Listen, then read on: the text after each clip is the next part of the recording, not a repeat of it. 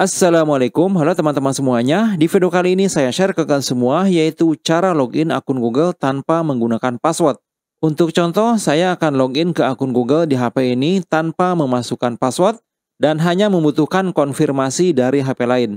Nah, di sini saya nggak pakai password ya. Tinggal kita tekan saja di HP lain dan langsung kita bisa masuk ke akun Google. Oke, mantap sekali ya. Dan untuk melakukannya ini sangat mudah sekali teman-teman ya.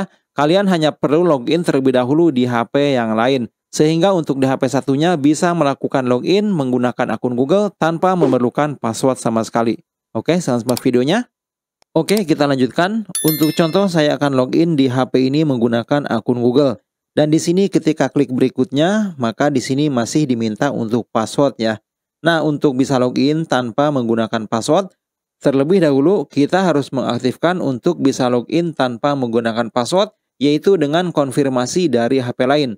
Dan tentu saja untuk HP lain tersebut, yaitu HP ini, harus sudah masuk ke akun Google yang akan kita gunakan di HP yang ini ya. Oke, langsung saja sekarang kita beralih ke HP yang satunya ini. Di sini kita masuk ke menu Google atau aplikasi Google Search. Seperti ini, kemudian klik ikon akun yang ada di bagian atas sebelah kanan ini. Berikutnya kita pilih untuk akun Google yang akan login di HP yang satunya. Ya ini dia. Kemudian pilih kelola akun Google Anda. Kemudian di sini kita pilih keamanan. Berikutnya kita scroll ke bagian bawah ini. Lalu di sini kita pilih gunakan ponsel Anda untuk login. Ya, berikutnya pilih lagi selanjutnya. Kemudian terlebih dahulu kita masukkan untuk password dari akun Google-nya. Kemudian pilih berikutnya. Oke, berikutnya di sini kita periksa terlebih dahulu untuk persyaratannya. Pertama, untuk akun Google sudah berada di sebuah ponsel. Ya, ini sudah ponsel ini ya. Kemudian untuk kunci layar, ya udah di checklist, berarti untuk HP saya ini udah ada kunci layarnya.